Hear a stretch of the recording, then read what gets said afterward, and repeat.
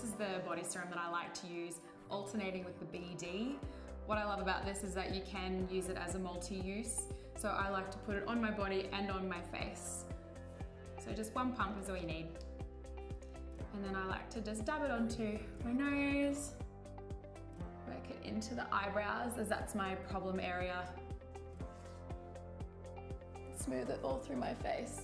I love how easy it is that it glides on and then once I put my foundation on over the top, it makes it even easier to put on my foundation.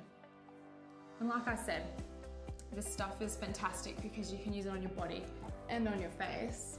So it's like a multi-use product. And then I'm ready to go for the day.